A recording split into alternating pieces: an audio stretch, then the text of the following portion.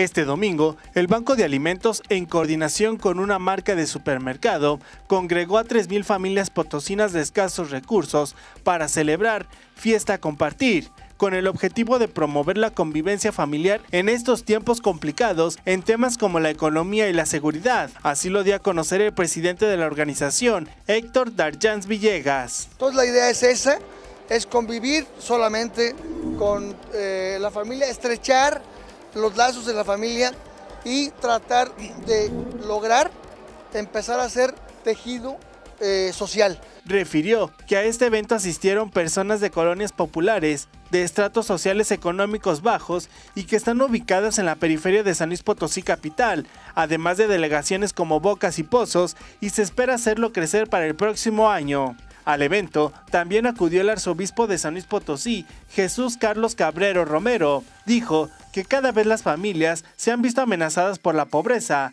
lo que está provocando que se vayan perdiendo los valores. Pues nada más miremos hacia los extremos de, de la ciudad las colonias de periferia y miremos el campo. Comentó que esta situación ha generado que los menores sean enganchados para diferentes actividades no gratas. Por ejemplo, niños y niñas en la prostitución, jovencitas que las enganchan y se las llevan. De acuerdo con el padrón del Banco de Alimentos, existen aproximadamente 80 mil potosinos beneficiarios que son apoyados con despensas, mientras que en la capital hay 2 mil y se tiene la presencia en Valles, Tamazunchal y Matehuala. Con imágenes de Adrián León Miguel Ángel Lucio, CN13 Noticias.